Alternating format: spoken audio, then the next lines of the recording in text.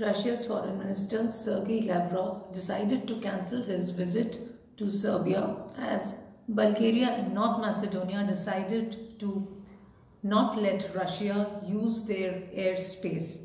Sergei Lavrov had to cancel his visit to Serbia after Bulgaria and North Macedonia said that they would not let Russian planes cross their airspace as a result of the Russian invasion in Ukraine. Stay updated. Thank you.